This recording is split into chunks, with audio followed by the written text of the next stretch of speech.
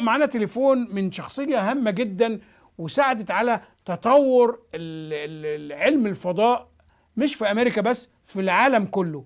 في العالم كله لما آه، طلعوا على القمر وأبولو ورواد الفضاء كان اللي بيقعد وبيعلمهم تحت على الأرض ونفتخر بيه الدكتور فاروق الباز ونفتخر إنه آه، عربي مصري وما زال لحد دلوقتي محتفظ بهذه الهوية اللي إحنا بنفتخر جدا كلنا بيه.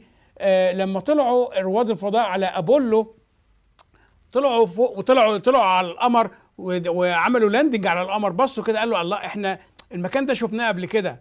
ده كان شرح الدكتور فاروق الباز اللي بيشرفني إنه يكون معانا على التليفون. ألو؟ ألو؟ ألو؟ أهلا أهلا يا فندم إزيك يا دكتور؟ أهلا بيك. آه، ده إحنا اتشرفنا النهارده بمكالمة حضرتك. الله يخليك شكرا. آه، دكتور الباز يعني آه، إزاي تقدر تعمل evaluation على اللي بيحصل دلوقتي مع الرئيس دونالد ترامب والقرارات السريعة و executive orders من أول يوم؟ وده طبعا ممكن يؤثر تأثير كبير على علم الفضاء. والله أنا في نظري إنه ما يصحش ناخد الكلام اللي قايله في الأول كده كأنه كلام جد. لأن مش كل حاجة في إيد رئيس الدولة. في الكونجرس وفي الوزارات ودي دي لها شغلها وما ولا يمكن إن أنت تغير كل الشغل ده فورا. رئيس الدولة لسه بيتعلم زي ما كل رئيس دولة بيجي لسه بيتعلم.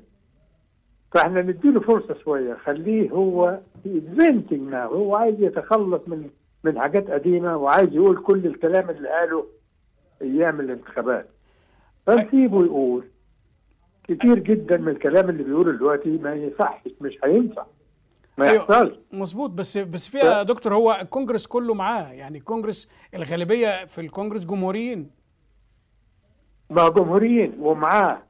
بس ما هو مش في كل حاجة. في حاجات مستحيل يقدروا يعملوها لأن ال الدو ال ال الولايات نفسها لا تقبل ذلك. ففي حاجات تبقى مقبولة بالنسبة للشعب الأمريكي وحاجات غير مقبولة وحاجات تاخد وقت على ما تتعمل. فالراجل بيتكلم دلوقتي إحنا ما يصحش إن إحنا ناخد كل الكلام اللي بيقوله دلوقتي كأنه حقيقة. صحيح. وهو ده اللي هيمشي. صحيح. أنا أتفق مع حضرتك في في في, في هذا الرأي طبعا. طبعا إحنا لازم لازم نشوف ما فيش حاجة حصلت لأن هو صح. في الآخر هو كسب الانتخابات متهيألي ك ك businessman يعني بيعرف إزاي صح. يعمل ال deal وإنت لما بتيجي تعمل ال deal مع businessman يروح مبتدي لك بأكثر حاجة هو عايزها ويزود عليها شوية أيوه بحيث يحسسك عشان هو هيبتدي هيبتدي الكلام مع الناس اللي قدامه ويقل يقل شوية وياخد الحاجة اللي هو كان عامل حسابها من قبل ما يروح المجت- الاجتماع اللي زود عليها عشان يكسبها. صحيح. طيب آه خلينا قبل ما نتطرق للموضوع بن- التأثير على الدول العربية وعلى مصر آه إيه آخر تطورات ال space الخارجي أو ال International Space Center ال International Space Station إحنا الأمريكان دفعوا already كل شغلنا فيها والمعدات اللي فيها مدفوع ثمنها والشغل اللي فيها جاهز already فكل اللي إحنا عايزينه إن إحنا النهارده بالنسبة للناسا يعني إنها تبعت رواد فضاء إلى السفينة دي عشان يعملوا الحاجات اللي هي المفروض تعملها ويجمعوا المعلومات وياخدوا الأجهزة معاهم. مفيش وسيلة في أمريكا حاليا إنها تبعت رواد فضاء. فرواد الفضاء اللي إحنا بنبعتهم للفضاء النهارده بيروحوا مع الاتحاد السوفيتي في مراكب سوفيتية. وإحنا بندفع إحنا أمريكا بندفع للاتحاد السوفيتي 70 مليون دولار لكل راكب يعني كل رائد فضاء. آه. ليه عشان ما عندناش برنامج إحنا يعمل الحكاية دي عشان ال space shuttle خلص أيامه. آه أمال 2028 أمال اللي أوباما كان عايز يخلي ال shut ال station موجود لحد 2028 يعني آه ده ال space station أيوه ماشيه لكن ال space shuttle لا. آه، ال Space Station. ماشي آه. آه 70 مليون. آه 70 معدات. مليون دولار. آه. آه. 70 مليون دولار للراكب. للراكب. وفعلا بندفع. الراكب اللي هو رائد الفضاء يعني ولا الراكب ده ممكن يكون أي شخص؟ رائد الفضاء. لا لا لا رائد الفضاء. رائد الفضاء. طيب بخصوص ال ال يعني إحنا مثلا دلوقتي حضرتك في سؤال ناس كتير لما عرفوا إن حضرتك هتكون على التليفون بلغوني إن أنا أبقى يعني أسألك السؤال ده. أنا عارف يمكن سؤال يمكن سألته كتير قبل كده إنه رواد الفضاء لما طلعوا على القمر وشافوا المنظر قالوا إحنا شفنا المنظر ده قبل كده من دراسات حضرتك ومن المحاضرات اللي كنت بتديها لهم ومن اللي كنت بتعلمهم على الأرض رغم إن لسه ما كانش حد شاف القمر. يعني إزاي وصلت حضرتك للشكل ده أو لل للتخيل القمر شكله كده؟ ولما طلعوا لقوه بالظبط زي ما حضرتك وصفته يعني. أنا ابتديت أساسا لأن أنا عمري ما خدت كورس في الفلك ولا في الفضاء. ولا كنت اعرف حاجة عن القمر.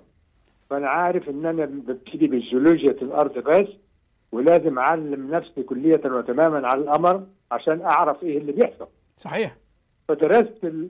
فدرست كل الصور بتاعه اللونر اوربتر اللي هو الرحلة اللي راحت تلف حوالين القمر تاخد صور. صح. درستها دراسة مستفيضة عشان أعرف أكلم زمايلي الجيولوجيين الأول.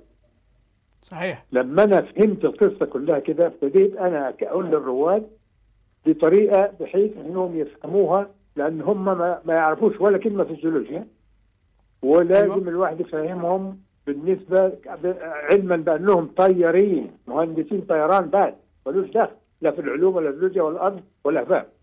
فما يعني فلازم يبقى طريقة تفهيمهم للحاجات دي مختلفة شوية على ما الواحد يكلم جيولوجي. آه.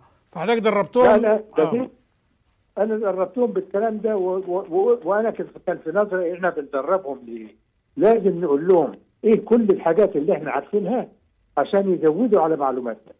صحيح يعني أدي ده فخر لنا جميعا يعني يعني إحنا بنفتخر بوجود حضرتك معانا هنا في أمريكا وكامريكان سيتيزن وكعربي قبل أمريكا آه، وكان لك دايما. دايما كان لك آه، رأي أو أو أنت كنت محدد اللي المفروض العرب عايزينه في أربع نقاط أنا هفكر حضرتك بيهم. كنت قلت إن إحنا محتاجين إن إحنا يبقى عندنا وحده عربية محتاجين إن إحنا نحرر فلسطين محتاجين يكون في عدالة اجتماعية في الدول العربية ومحتاجين محو الأمية. في أي حاجة في الحاجات دي حصل فيها أي تطور من نوع معين ولا تراجعت؟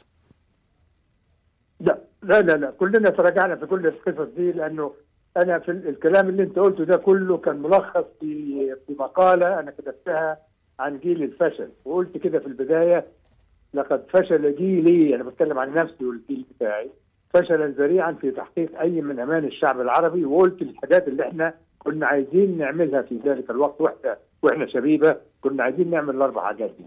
وقلنا أكيد لازم نعملها وفي إيدنا وما حصلش أي حاجة لأن لا الحكومات كانت فاهمة ولا ولا ولا الشعب كان داري الحكومات عارفة إيه ولا مش عارفة إيه. وسايبين إحنا كل حاجة في ايد اللي يفهم واللي ما يفهمش. ومشينا وراها والنتيجة بتاعتنا إن إحنا متدهورين لحد النهارده. طيب. آه، حضرتك يعني دلوقتي باختصار سريع جدا في مصر ماذا تقترح لعدل الحال في مصر؟ طبعا ده موضوع كبير قوي ولكن يعني طبعا. إيه الأهم حاليا دلوقتي؟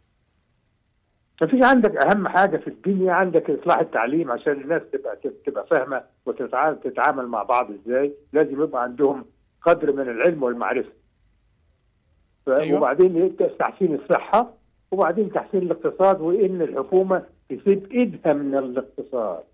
لأن الخيبة اللي حصلت عندنا في مصر كلها نتيجة لأن الحكومة هي المعين الوحيد في البلد مش سايباها للناس اللي هم بيعملوا مصانع وبيعملوا تجارة وبيعملوا كذا كل حاجة أساسية في إيد الحكومة والحكومة خربانة مهما كان مهما كانت الحكومة في أمريكا خربانة آه، الحكومة يعني- في كل حتة خربانة ما آه. تنفعش آه يعني حضرتك القطاع الخاص لازم ينشط امال إيه؟ امال إيه؟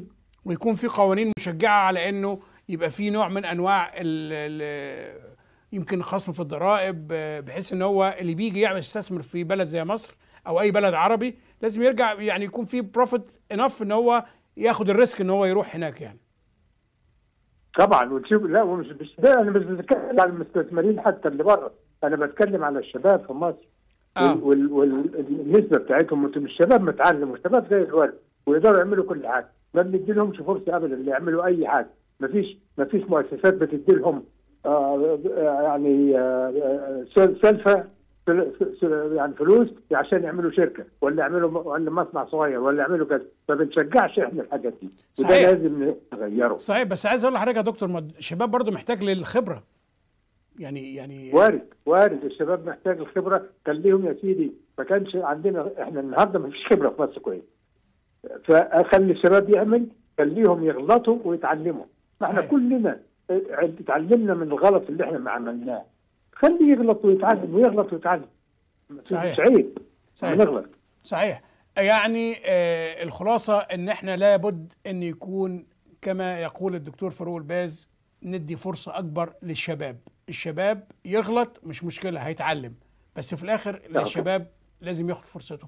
أنا بشكر حضرتك على المكالمة السريعة دي وبتشرف طبعا حضرتك تشرفنا في نيويورك أو إحنا نجي لك في بoston طبعا دي حاجة تشرفنا. يعني آه الناس بتحب تسمع من حضرتك وبتاخد منك ال- ال- ال- الخبرات الجميلة وال وطبعا أنا يعني مش عايز أتكلم وافتح مواضيع كتيرة دلوقتي لأن لما نكون face to face إن شاء الله لأن حضرتك آه، معلم لكل عربي هنا في أمريكا ونفسه يعرف إزاي يبقى جزء أو شبه جزء من فاروق الباز.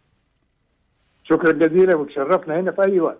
شكرا شكرا. أنا بشكرك.